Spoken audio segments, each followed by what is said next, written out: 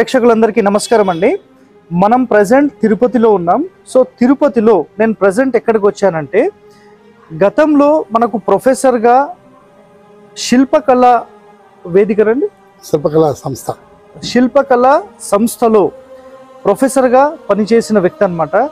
So ఈయన పేరు Palleboina doctor Palleboina Subrahmanya Sthapati గారు.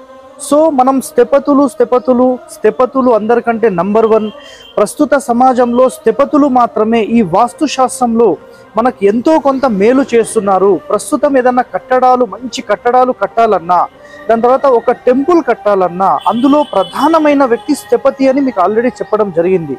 సో స్థిపతి లేకపోతే ఈ రోజు మనకు ఒరిజినల్ ఆగమ శాస్త్రాలు దాని తర్వాత వాస్తుకి సంబంధించిన రహస్యాలు అనేవి మనకు దొరికేవి కావు. సో ఎంతో కొంత ఇలాంటి స్థపతులు మనకు ఉండడం అనేది అదృష్టం అనమాట సో ఇలాంటి స్థపతులు రాసిన పుస్తకాలు ఇలాంటి స్థపతులు నేర్చుకున్న ఎంతో మంది వ్యక్తులు ప్రజెంట్ అసిస్టెంట్ స్థపతులుగా వాస్తు నేర్చుకున్న విద్వాంసులుగా సమాజంలోకి వచ్చి ఎంతో కొంతమందికి మేలు అనేది చేస్తున్నారు. అందులో నేను కూడా ఈయన నుంచి కొంత సమాచారం నేను తీసుకొని మన ప్రజలందరికీ ఈ రోజు వరకు నేను పంచడం జరిగింది. సో ఇక్కడ ఏంటంటే నేను ఏ కారణం చేత ఈ ఇంటర్వ్యూ తీసుకుంటున్నానంటే చాలామందికి ఒక డౌట్ ఉంది. నేను ఒరిజినల్గా ఆయాది గణితం కట్టి మాత్రమే ఇల్లు కట్టాలి అని ఒక పాయింట్ చెప్తాను. నెక్స్ట్ పదమండలి మర్మస్థానాలు మహామర్మాలు షడ్మర్మాలు ఉపమర్మాలు వీటన్నిటిని కాపాడుతూ ఇల్లు కడితే చాలా మంచి ప్రశాంతవంతమైన వాతావరణం ఉంటుంది అని నేను ఎన్నోసార్లు చెప్పాను.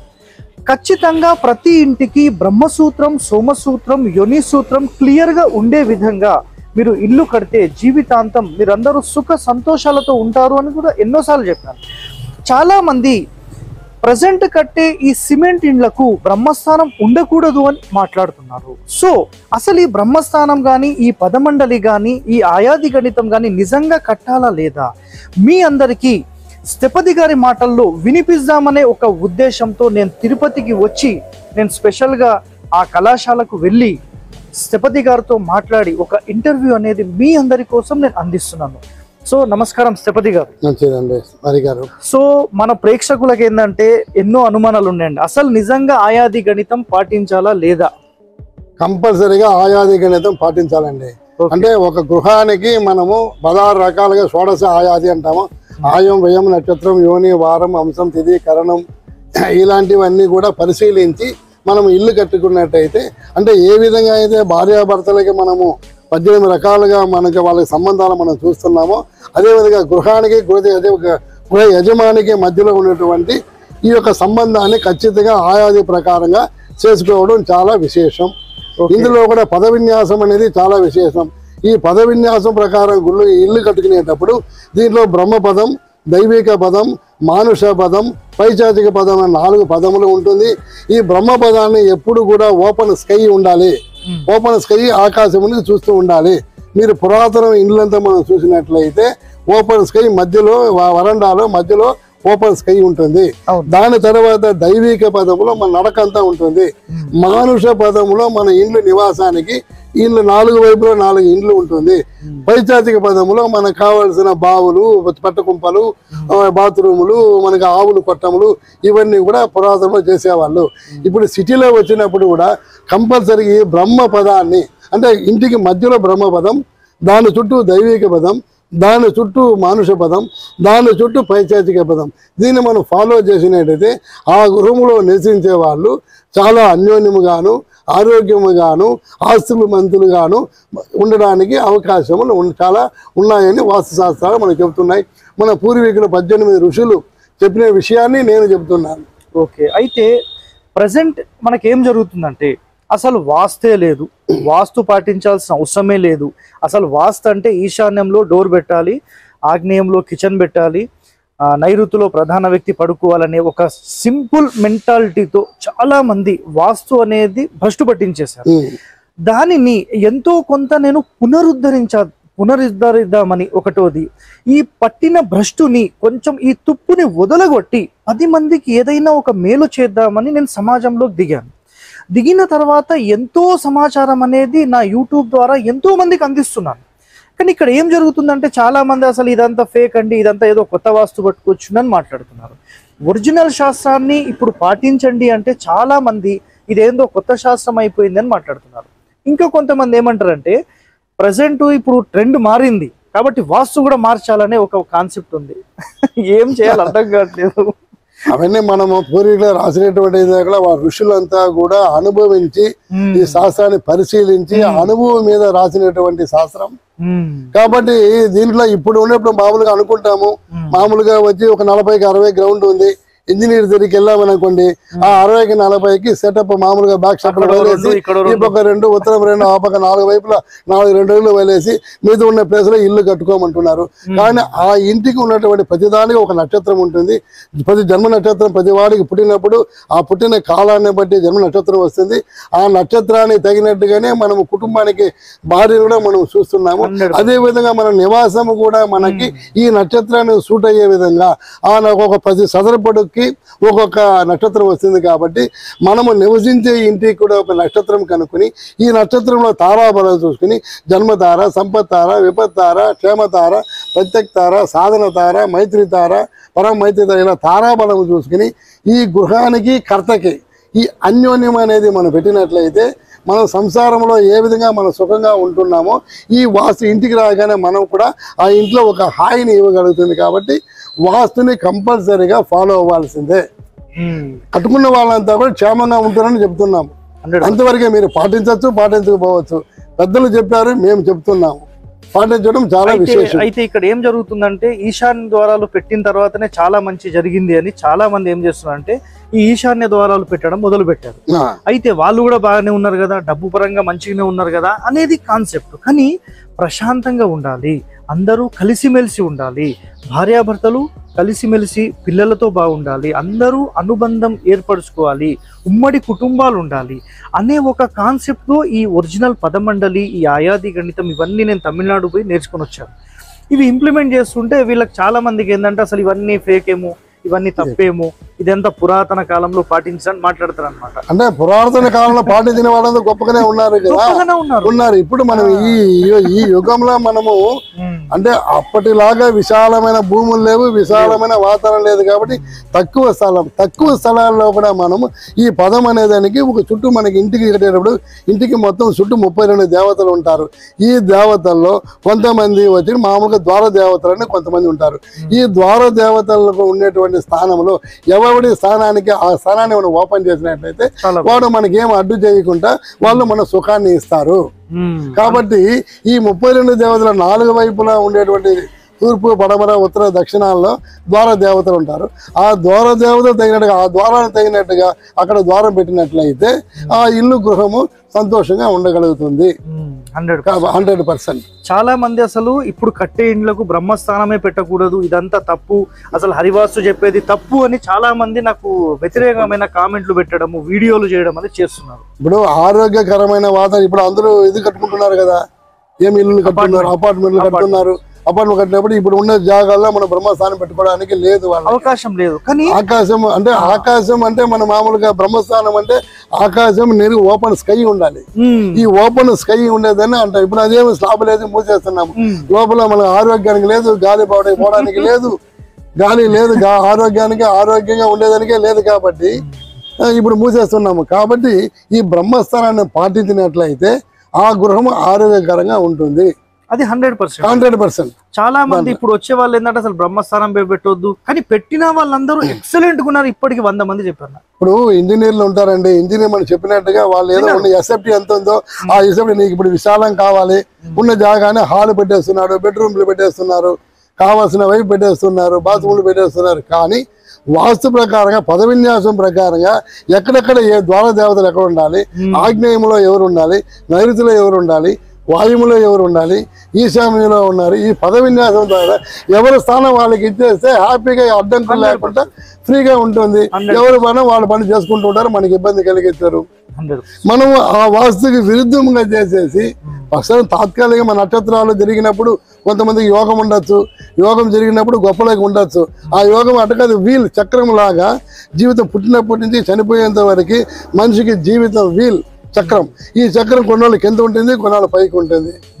పైన ఉన్నప్పుడు హ్యాపీగానే ఉంటుంది. అది ఎప్పుడైనా రౌండింగ్ తిరిగేటప్పుడు జీవితంలో తిరిగేటప్పుడు కిందికి రావాల్సిందే కదా. కిందికి వచ్చినప్పుడు ఇబ్బందులు పడతాము. అలాంటప్పుడు ఇవి ఉన్నప్పుడు ఈ యొక్క ఈ తప్పులు ఉంటే. చాలా బాగుండి మనకి అదే విధంగా కంటిన్యూ అవుతూ ఉంటుంది. అది లేకుండా ప్రస్తుతం నాకు జరుగుతూ ఉంది. అని అనుకుంటున్నారు కానీ జరుగుతుంది అనే కాన్సెప్ట్లో ఉన్నారు కానీ రేపటికి అనేది అనేది ఆలోచించి మనం చేసుకోవడం చాలా మంచి హండ్రెడ్ పర్సెంట్. అంటారు ఇప్పుడు ప్రస్తుత కాలంలో మనము ఈ ఇంటి నిర్మాణంలో ప్రధానంగా ఇవన్నీ పాటించినప్పుడు పది మందికి మేలు జరుగుతుంది అనేది హండ్రెడ్ హండ్రెడ్ పర్సెంట్ ఋషులు చెప్పారు పద్దెనిమిది ఋషులు రాశారు. ఆ ఏమో అది కాబట్టి అందరూ పాటించారు కాబట్టి పూర్వకాలంలో అందరూ బాగున్నారు. Hundred percent. ఇప్పుడు కూడా ఒకటి దాన్ని ఆచరించి అనుసరించి దాన్ని ఆచరించే వాళ్ళు బాగానే ఉంటారు. మిగతా వాళ్ళు ఇబ్బందులు పడే వాళ్ళు పడుతూనే ఉన్నారు చూస్తూనే ఉన్నాం చాలా మంది. ఇల్లు కడతాడు కట్టిన తర్వాత గృహప్రవేశం చేయడు వాడికి ఏదో జరుగుతుంది. కొంతమంది చేసిన తర్వాత. కొంతమందికి ఇల్లు అమ్మేస్తా ఉంటారు. నక్షత్రాలు తేడా కొట్టినప్పుడు అంతే నక్షత్రం సూటు కానప్పుడు అది మనం ఆ నక్షత్రానికి జన్మ నక్షత్రానికి ఆ గృహ నక్షత్రానికి సూటు కానప్పుడు అది ఖచ్చితంగా చేయాల్సిన పని చేస్తుంది. ఇంకో చిన్న విషయం అండి. చాలా మంది ఒక ప్రధాన ద్వారం గురించి ఒక డౌట్ ఉంది. చాలా మందికి ఉంది. అదేంటంటే సెంటర్ డోర్ పెట్టొచ్చా సెంటర్ దూరం పెట్టని ఓన్లీ దేవాలయాలకి మాత్రమేనండి Hmm. అంటే ఆ శక్తిని సెంటర్ ఉండే పవర్ని తట్టుకునే శక్తి మానవ గృహానికి లేదు. అది ఓన్లీ దేవాలయాల్లోనే సెంటర్ భగవంతుడికి ఒక్కడికి మాత్రమే సెంటరు. Hmm. కాబట్టి సెంటర్ నుంచి మనము ఒక ఇంచు ఒక ఇంచు జరుపుకుని మనం కట్టుకోవడమే. మనకు అంటే ఉచ్చ స్థానాలు నీచ స్థానాలు ఉన్నాయి. ఉచ్చ స్థానాలకి అంటే మనము ఉచ్చ స్థానాలకి వచ్చేయడమే. నీచ స్థానానికి పోకుండా ఉచ్చ స్థానాలకి రావడం. అంటే జరిపినా కూడా సంతోషం. సంతోషమే. సెంటర్ నుంచి ఒక ఎట్టయినా కూడా మనము ఉచ్చ స్థానానికి వచ్చేయాల్సిందే. సెంటర్లో మనం ఓన్లీ పెట్టకూడదు అసలు. అది దేవుడికి మాత్రమే. దేవుడికి మాత్రమే అది ఉపయోగపడేది ఆలయం. ఉమ్. అయితే చాలా మందికి నేను ఏం చెప్పానంటే ఇంటి యొక్క మధ్య సూత్రము ద్వారం యొక్క మధ్య సూత్రము కలవకుండా ఒక హాఫ్ ఇంచ్ జరిపినా జరిపిన. అది అసలు అంతగా ప్రభావం ఉండదు. ఇల్లు చాలా బాగుంటుంది. బ్రహ్మసూత్రం క్లియర్ అవుతుంది. యోని సూత్రం క్లియర్గా Clear గా ఉంటుంది. చాలా బాగుంటుంది అనేది నా ఉద్దేశం. చాలా మందికి చెప్పడం జరిగింది. మంచిది మంచిది. చేయడం మీరు చేయడం చాలా మంచిది. అయితే చాలా మందికి మళ్ళీ ఒక డౌట్ వస్తుంది. స్థపతి గారు ఎక్కడ ఉంటారు ఏంటిది? జస్ట్ జనరల్ ఇన్ఫర్మేషన్ మీరు ఏమేమి చేశారు? ఒక మాట వాళ్ళకు కూడా. మీ పేరుతో సహా చెప్పేసేయండి. ఏమండి నేను డాక్టర్ పల్లెపోయిన సూరమణ్య అనే పేరు. నేను తిరుపతి తిరుమల తిరుపతి దేవస్థానంలో శిల్ప కళాశాల అనే ఒక సంస్థ ఉంది. అది టెంపుల్ ఆర్కిటెక్చర్లో నేను ప్రధాన ఉపాధ్యాయుడిగా అంటే హెడ్ ఆఫ్ ది డిపార్ట్మెంట్గా వర్క్ చేశాను. దాని మీద చాలా పుస్తకాలు రాశాను. చాలా ఈరోజు ఈరోజు ఆంధ్రప్రదేశ్లో ఉన్నటువంటి దేవాదాయ శాఖలో కానీ బయట ఉన్నటువంటి స్థపతలు ఎంతమంది అంతా అంతా నా శిష్యులే తొంభై తొమ్మిది మంది నా శిష్యులే ఉన్నారు. నేను కూడా ఇప్పుడు మామూలుగా యాదగిరిగుట్ట దేవాలయానికి నేను టెక్నికల్ అడ్వైజర్గా ఆ గవర్నమెంట్ ఆంధ్రప్రదేశ్ నుంచి నన్ను ఒకరిని అక్కడ టెక్నికల్ అడ్వైజర్గా నన్ను అపార్ట్మెంట్ చేసింది. ఇప్పుడు నేను కూడా ఊరికే ఉండకుండా పుస్తకాలు రాస్తున్నాను పరిశోధన చేస్తున్నాను. చాలామంది విద్యార్థులకి నేను నేర్పిస్తున్నాను. అదేవిధంగా నేను ఖాళీగా లేకుండా నేను కూడా ఈ రోజు కడుతూ ఉన్నాను సిమెంట్లో కడుతున్నాను శిలలో కడుతున్నాను నేను తెలుసుకుంటూనే ఉన్నాను మీద వాళ్ళకి చెప్తూనే ఉన్నాను కొత్త విషయాలు నేర్చుకుంటూనే ఉన్నాను నేను కూడా ఇప్పటికీ. అయితే ఈ పరిశోధన అని ఒక మాట చెప్పారు కదా ఒక చిన్న మాట. ప్రస్తుత కాలంలో వాళ్ళు చాలామంది ఏమంటున్నారంటే మేము పరిశోధన చేసాం మేము పది పదిహేను సంవత్సరాల నుంచి పరిశోధన చేసినవన్నీ కూడా ఇప్పుడు మేము ఇంప్లిమెంట్ చేస్తున్నాం అంటున్నారు. కానీ మన ఋషులు కొన్ని వేల సంవత్సరాలు పరిశోధన చేసిన చేసి రాసినవి అవి అనుభవం మీద రాసినవి కానీ వీళ్ళు. పది పదిహేను సంవత్సరాల ముందు వచ్చేసేసి మేము పరిశోధన చేసినాం వాళ్ళ లేదండి పద్దెనిమిది మంది ఋషులు కూడా వాళ్ళు అనుభవించి దాన్ని చూసి రాసి అంటే ఏంటి- ఎందుకు ఇటు రాశారు ఇది ఉండొచ్చు ఇది ఉండకూడదు. అని వాళ్ళు అనుభవించి అంటే ఒక మామూలుగా ఒక వివాహం చేసిన తర్వాత భార్యాభర్తలు చేసిన తర్వాత ఒక లగ్నం పెట్టిన తర్వాత పరిశోధన చేస్తూనే ఉంటాడు. ఈ లగ్నంలో మనం పెట్టినాము ఈ భార్యాభర్తలు సుఖంగా సంతోషంగా ఉన్నారా లేదా అని రీసెర్చ్ చేస్తూ ఉండాలి. ఇలా. చేస్తున్నప్పుడే ఆ పండితుడు పరిశీలించి ఈ లగ్నంలో పెట్టినప్పుడు ఇతను సంతోషంగా ఉన్నారు. ఈ లగ్నంలో పెట్టినప్పుడు ఈ పాడైపోయింది అని అతను కూడా రీసెర్చ్ చేసుకుని ఏది మంచి అయితే దాన్ని ఫాలో అవుతారు. కాబట్టి ఇల్లు కట్టినంత మాత్రాన మేము ఖాళీగా ఉంటాము కాబట్టి ప్రతిదాన్ని మేము కట్టిన తర్వాత కూడా ఆ ఇల్లు రోజు రోజుకి అభివృద్ధి అవుతుందా లేదా. అభివృద్ధిలోకి వస్తుందా లేదా? Hundred. అనే దాన్ని మేము కరెక్ట్గా దాన్ని పరిశోధన చేసి. దాని మీదనే మేము ఫాలో అవుతూ ఉంటాము. ఋషి మహాత్ములందరూ కూడా అదే చేశారు. అదే చేశారు. కానీ వాళ్ళు వేల సంవత్సరాలు పరిశోధన చేసి మనకు అందించిన పుస్తకాలు ఏవైతే ఉన్నాయో ఈ పుస్తకాలన్నీ తప్పు అసలు ఆ ఋషులకేం తెలియదు. ఇప్పుడు మాట్లాడుతున్నారండి. ఋషులకేం తెలియదు. మేము మాత్రమే కరెక్ట్గా చేస్తున్నాము. అయితే కొంతమంది ఇప్పుడు లేటెస్ట్గా వచ్చారు చాలామంది. వాళ్ళు ఏం చెప్తారంటే సింపుల్ ఒకటే మాట. మేము ఒక ఇరవై సంవత్సరాల నుంచి పరిశోధన చేస్తున్నాం ఈశాన్య ద్వారమే మంచిది. బ్రహ్మస్థానం అసలు పెట్టనే వద్దు. చాలా డేంజర్ అంటే ఎంతో మందికి డిస్టర్బెన్స్ చేస్తున్నారు. అసలు ఆయాది గణితమే పాటించొద్దు. కేవలం వాస్తుకిల్లు కట్టుకోండి. డోర్ ముందే సంపు పెట్టాలి. డోర్ ముందే గేట్ పెట్టాలి. ఇది మొత్తం సత్యనాశ చేస్తున్నాం అన్నమాట ఇప్పుడు ఈశాన్య ద్వారాలు అనేది మన మామూలుగా పొద్దుటూరు తిరుపతి రెడ్డి గారు వచ్చినప్పుడు మాత్రమే అది పెట్టారు. అవి మధ్యలో వచ్చింది. చాలా మంది ఈశాన్యంలో పెట్టి చాలా మంది ఇబ్బందులు పడ్డారు. కాబట్టి ఎక్కడ మా వాస్తుశాస్త్రంలో కూడా ఈశాన్యంలో పెట్టడం ఎక్కడ లేదు. కాబట్టి ఈశాన్య ద్వారాలు మా వాస్తు ప్రకారంగా అది పనికిరాదు 100%. కాబట్టి ఈ పద విన్యాసం చేసేటప్పుడు ఎక్కడైతే ద్వార దేవతలు ఉన్నారో. ఆ ద్వార దేవతలు ఉన్న చోట ద్వారం పెట్టాలి లేదా నవగ్రహ ద్వారాలను పెడతాము మామూలుగా దానికి వచ్చి సూర్యుడు చంద్రుడు అంగారకుడు బుధుడు గురు శుక్ర శని రాహు కేతువులని ఈ తొమ్మిది భాగాలు చేసి ఈ యొక్క బుధస్థానం వ్యాపారం అనేటప్పుడు బుధస్థానంలో పెట్టినప్పుడు వ్యాపారానికి ఆ బుధస్థానంలో పెడతాము. అదే గురు స్థానంలో పెట్టినప్పుడు ఆధ్యాత్మికటువంటి వాటికి ఉపయోగపడుతుంది. లేదా ఈశాన్యం కాకుండా చంద్రస్థానంలో పెడుతున్నట్లయితే దాంట్లో కూడా మామూలు ఈశాన్యం కాకుండా కొద్ది కొంతవరకు మనము దాన్ని బెటర్గా పెట్టుకుంటున్నాము. కానీ కాబట్టి సెంటర్ డోర్ అనేది ఓన్లీ దేవాలయాలకి. కొంచెం జరిపి సెంటర్ జరిపి అదే మామూలుగా దాన్ని సెంటర్ అనేటప్పటికి మనకి అక్కడ ఏమొస్తుందంటే గురు స్థానం వస్తుంది.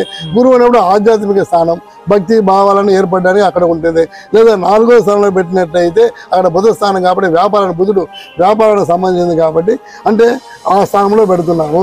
కాబట్టి ఇంటికంతా కూడా బుధ స్థానంలో మూడు భాగాలు వదిలేసి నాలుగో భాగాలు పెట్టుకోవాలి ఎక్కడైనా. ఏ దిక్కుకైనా స్థానం. నుండి మూడో స్థానం వదిలేసి నాలుగో భాగంలో ద్వారం పెట్టుకోవాలి. చాలా మంది ఈ వాయువ్యంలోకి వెళ్ళిపోతారు. పడమరకు వచ్చిన తర్వాత పుష్పదంతలో పెట్టాలి పుష్పదంతలో పెట్టాలి. పుష్పదంతలో కాబట్టి దేవతలు ముప్పై రెండు దేవతలు ఉంటారండి. వాస్తు ప్రకారంగా ఇల్లు చుట్టూ మొత్తము ముప్పై రెండు దేవతలు చిన్న ఇల్లు అయినా పెద్ద బంగ్లా అయినా ఏదైనా ముప్పై రెండు పదం చేసేటప్పుడు ముప్పై రెండు మంది దేవతలు ఉంటారు. ఈ దేవతలు తగినట్టు ఏ ఏ దేవత తగినట్టు ఆ దేవతకి ఇచ్చిన అర్ఘ్యాన్ని మనం ఇచ్చినట్లయితే ఏ ఇబ్బందులు లేకుండా హాయిగా ఉంటుంది. 100%. ఇంకా మన తెలుగు ప్రేక్షకులకు ఇంకా అసలు మనం ఏ విధమైనటువంటిది పాటిస్తే బాగుంటుంది? ఒక చిన్న మాట చెప్పేసి క్లోజ్ చేస్తాం మన తెలుగు ప్రజలకు తెలియజేయడం ఏమంటే వాస్తు ప్రకారంగా వాస్తు అనేది పద్దెనిమిది ఋషులు రాసి ఇచ్చినటువంటి మనకి శాస్త్రమును మేము ఫాలో అవ్వమని మేము కంపల్సరీ చేయట్లేదు. మంచిది చెప్తున్నాం దీన్ని ఫాలో అవ్వండి మీకు మంచి జరుగుతుంది.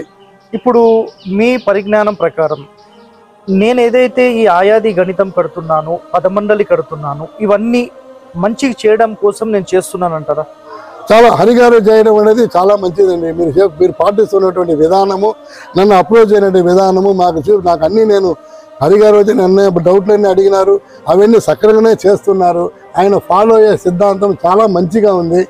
ఆయన్ని ఫాలో అవ్వండి. ఏమి ఆయన ఆదరించండి.